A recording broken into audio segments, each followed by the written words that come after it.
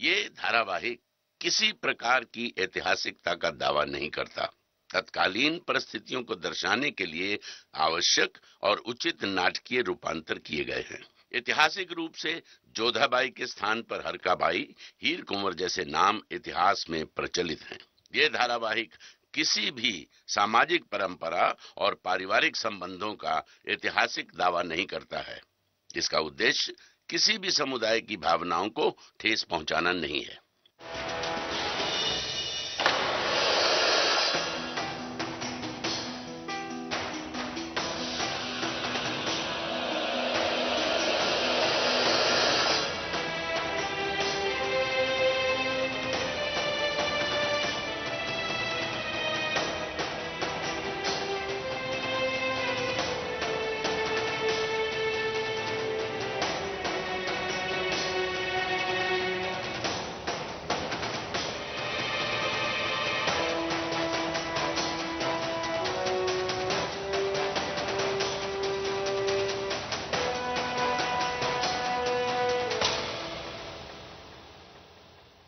लीजिए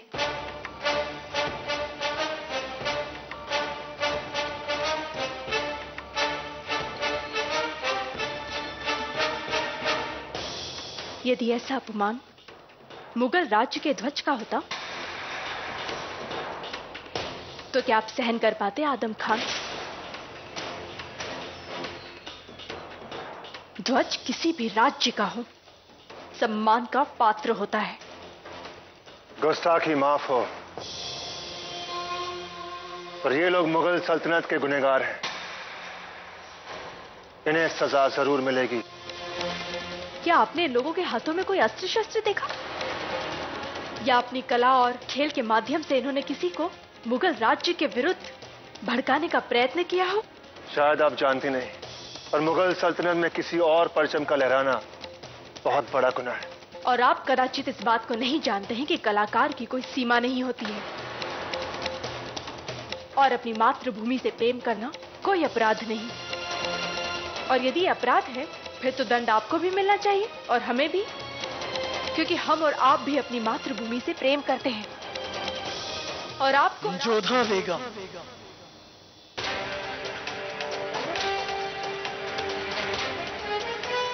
ये सियासी मामला है। अब इससे दूर रहें। इनके साथ क्या करना है क्या नहीं हम अच्छी तरह से जानते हैं। आप महल में वापस जा सकती हैं।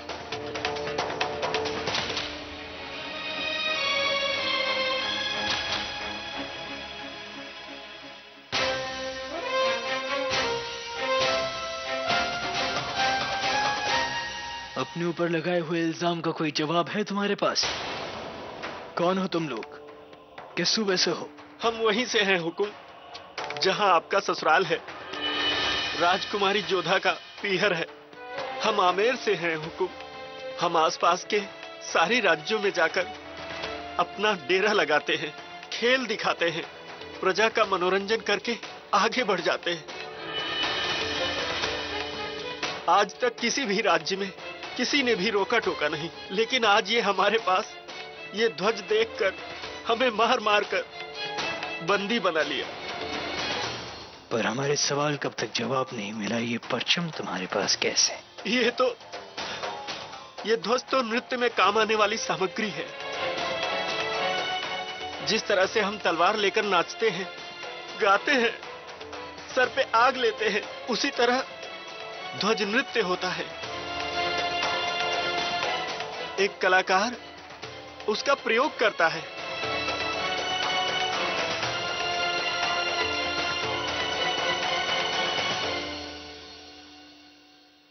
इन्हें रिहा कर दिया जाए।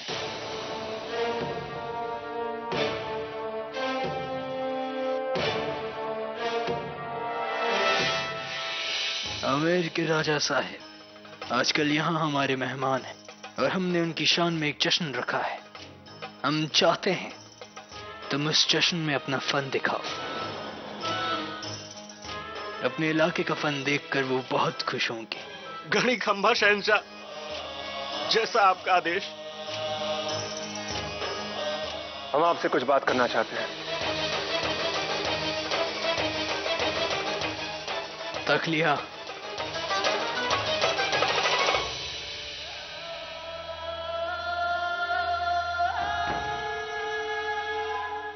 जब भी हम किसी गुनहगार को पकड़ते हैं, आप उसे रिहा करते थे। अधम, जिस दिन तुम सच में किसी गुनहगार को पकड़ कर लाओगे, हम उसे नहीं छोड़ेंगे। तुम्हारे लिए काम है हमारे पास। हमें पता लगा है कि मथुरा में कोई हमारी रियाया को सता रहा है। तुम जाओ, पता लगाओ वो कौन है। जो मुगल सल्तनत के असूलों को तोड़ रहा है। ज़रूर। हम वहाँ जाकर उन्हें पकड़ेंगे और उन्हें खौफनाक सजा देंगे। तुम सिर्फ़ उसे पकड़ना। सजा हम मुकर्र करेंगे।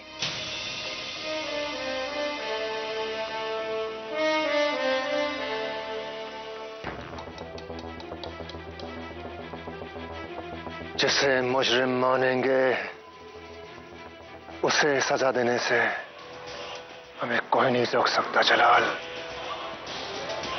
तुम भी नहीं।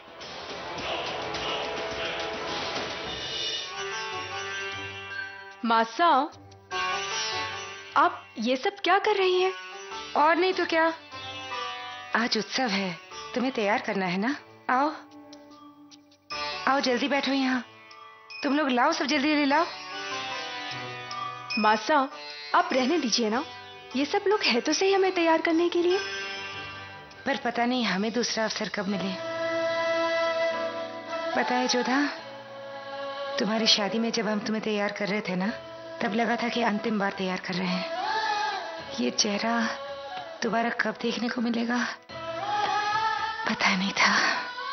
और आज आज हम जी भर के तैयार करेंगे तुम्हें।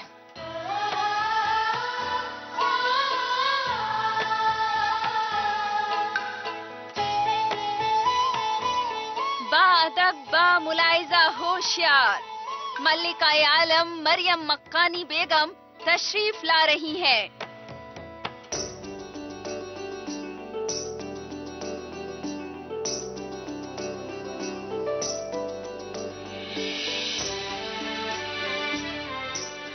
प्रणाम, अम्मी जान। खुदा तुम्हें उम्र दराज करे। दुनिया की हर नेमत, हर खुशी बख्शे। अरे रानी साहिबा आप यहाँ मौजूद हैं?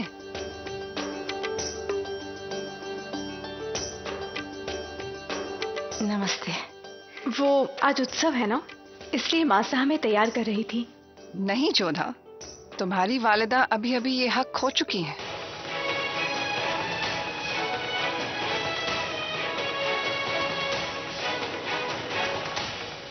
जी अभी अभी तुम्हारे मुँह से हमारे लिए अम्मी जान निकला ना तो अब माँ का हक तो अब हमारा हुआ।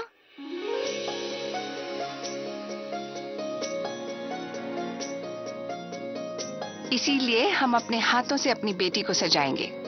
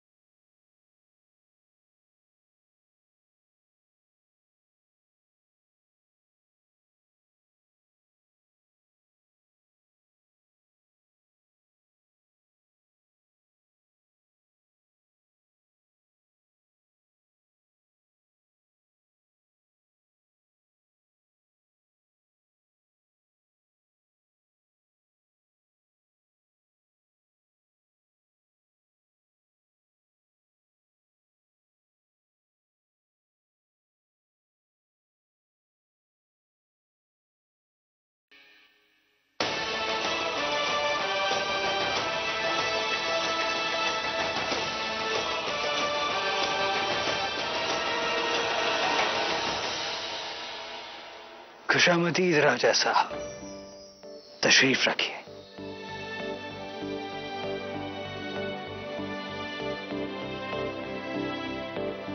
नजराने पेश किए जाएँ।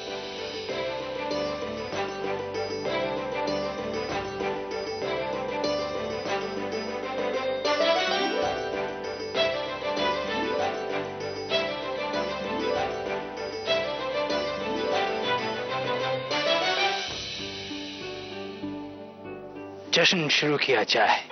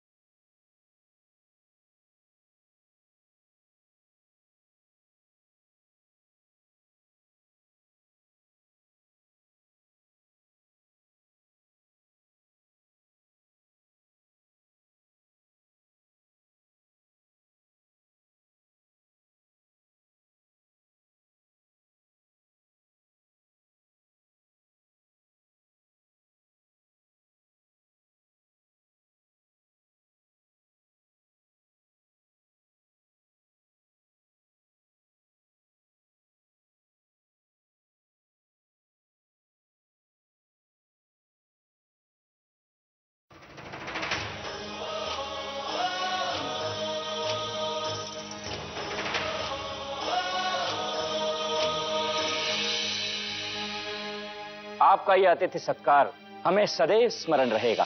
राजा साहब हमें लगा कि आप अपनी सरहद से इतनी दूर हैं तो क्यों ना आपको आपकी ज़मीन की आपकी तहसीब की याद दिलाई जाए? शहनशाह आपने इस उत्सव के माध्यम से यह सिद्ध कर दिया कि मुगल और हिंदुओं के बीच एक संबंध एक समन्वय बन सकता है। तो जश्न अभी खत्म नहीं हुआ है राजा साहब। आपके एहतराम में पेशे खिदमत है। शतरंज का खेल। जो कभी कभी मोहरों से नहीं खेला जाता खेला जाता है जज्बात से। हमारे जीवन को आपने खेल बना दिया है। और इसमें अब हमारे माता पिता को भी सम्मिलित कर लिया। आज का खेल बहुत ही खास है क्योंकि आज जो इस खेल में जीतेगा उसे शहनशाह एक वादा नज़र करेंगे। और वो वादा ये होगा कि जो भी इस खेल को जीतेगा, वो हमसे कभी भी, कैसे भी कुछ भी मांग सकता है। वो हमसे जो मांगेगा, हम उसे वो देंगे।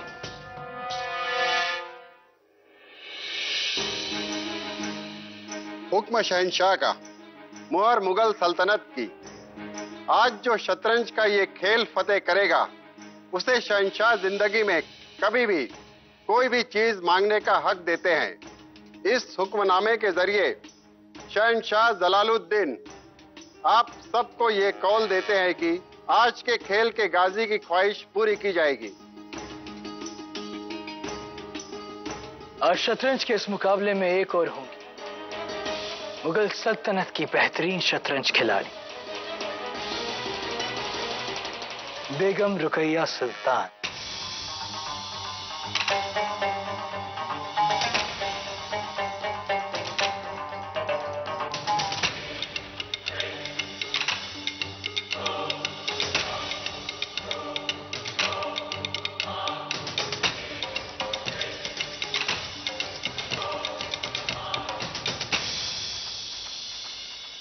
इज़्ज़त अफजाई का शुक्रिया जहापना अगर आप इजाज़त दें तो हम खुद हमारे साथ खेलने वाले खिलाड़ी को चुनना चाहेंगे।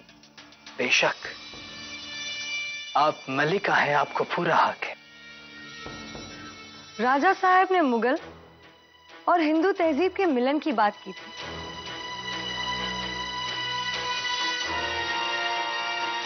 तो यह मिलन अब मुकाबले में तब्दील होगा।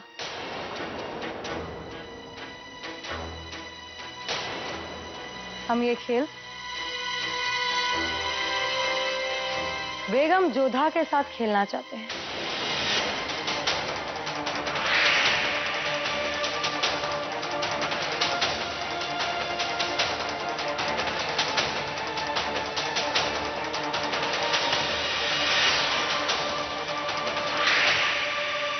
मैं बहुत खुशी होगी जब हमारी दोनों बेगम इस खेल का मुकाबला करेंगे। यदि रुकैया खेल जीत गई तो न जाने क्या मांग बैठेगी वो शहशाह से।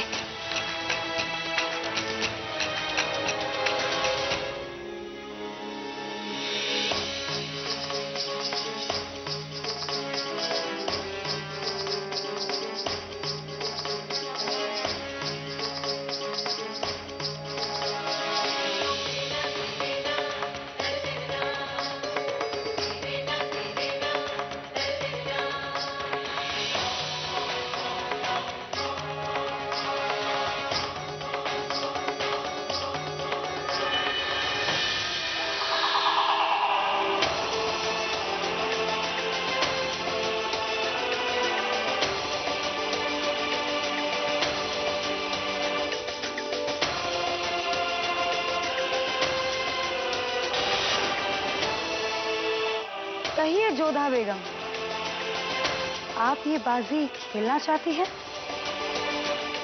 या बिना खेले ही हार कबूल करना चाहती हैं? हमारे यहाँ तो बिना लड़े मृत्यु से भी हार नहीं मानी जाती। बुलावा चाहे युद्ध का हो या शतरंज के खेल का, हम राजवंशी कभी पीछे नहीं हटते।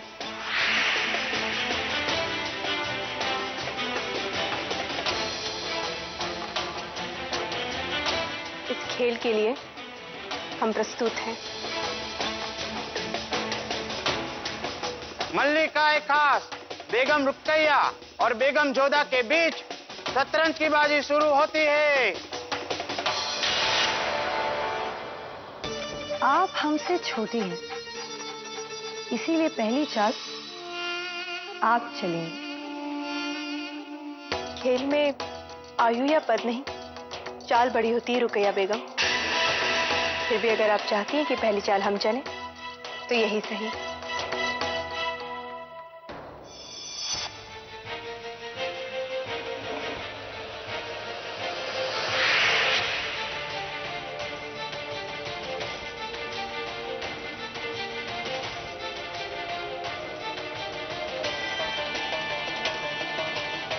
और ये गया आपका शाह सवार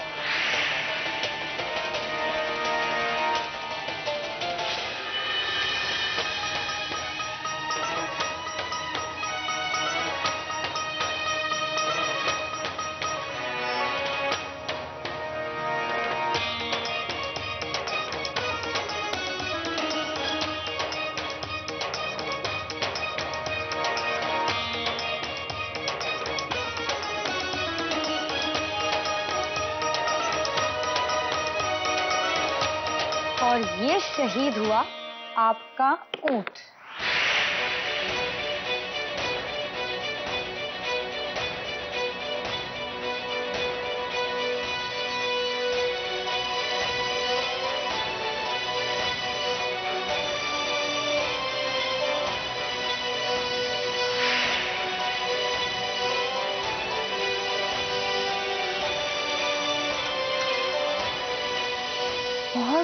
गलती कर दी आपने जोधा बेगम। आपके बादशाह को तो हमने चारों ओर से घेर लिया।